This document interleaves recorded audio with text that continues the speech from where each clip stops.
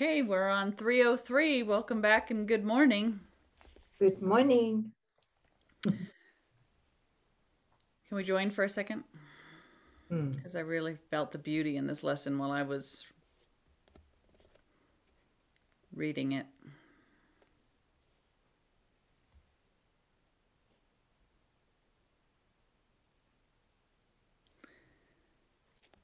Thank you. The Holy Christ is born in me today.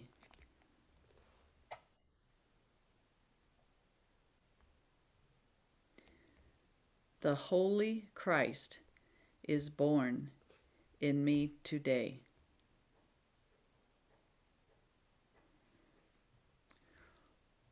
Watch with me, angels.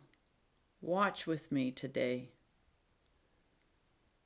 Let all God's holy thoughts surround me, and be still with me while heaven's Son is born.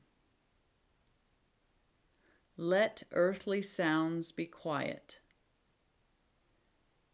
and the sights to which I am accustomed disappear. Let Christ be welcomed here. Sorry. Let Christ be welcomed where he is at home. And let him hear the sounds he understands and see but sights which show his Father's love. Let him no longer be a stranger here, for he is born again in me today.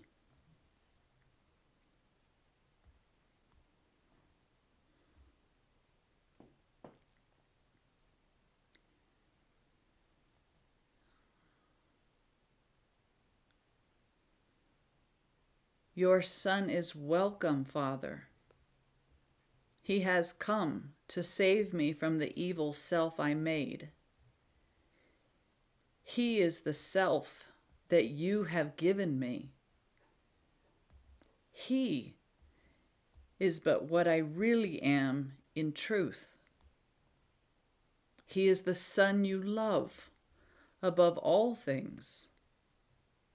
He is myself as you created me.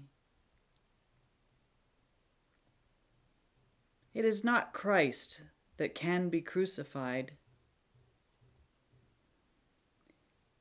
Into your world, let me receive your Son.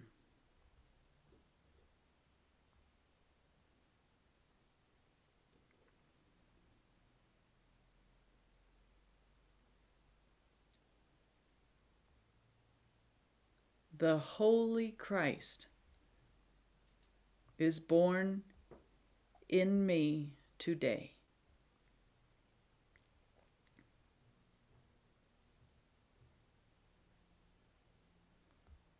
Sis, there's a, a different ending to the FIP version. Blasphemy. Uh, that last line, Really? yeah, is is has been edited to "Safe in your arms, let me receive your son." Oh, Could you could you please read that last line from the COA version, the original? into your world let me receive your son.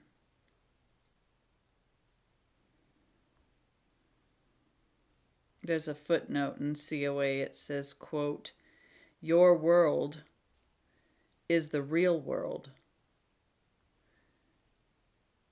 See workbook lesson 301. Let me see your world instead of mine.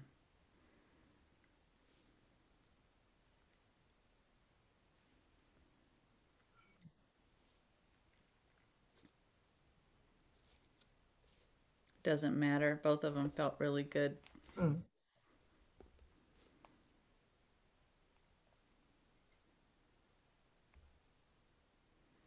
I don't think we can spend too much time considering what we are when we say, I am the Son of God or I and the Father are one. I think as a student, we give it a lot of lip service and we have mantras and workbook lessons that we repeat. But to really drop into our heart and have that felt experience of mm. our true identity has as being given to us by God that I am the Son that God loves above all things, which cannot be crucified or changed or made sinful or guilty or fearful or separate.